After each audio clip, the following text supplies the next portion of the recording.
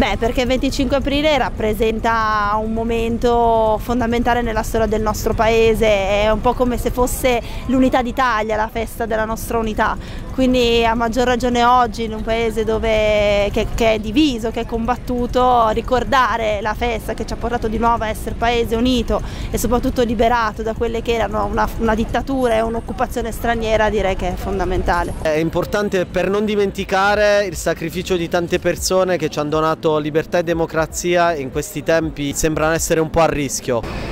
perché i valori della resistenza oggi sono sempre più dimenticati. Sta passando l'idea che sia una lotta contro chi è a favore e chi è contro, mentre sono valori alla base della nostra democrazia, del nostro convivere civile e quindi oggi più che mai è importante essere qua. Eh beh, perché dobbiamo ricordarcelo tutti i giorni, perché siamo liberi di manifestare grazie a chi ha combattuto tanti anni fa e ogni giorno ci sono delle dimostrazioni del fatto che il passato può tornare e noi dobbiamo lottare per il futuro, per un futuro migliore per i nostri figli e per le nuove generazioni.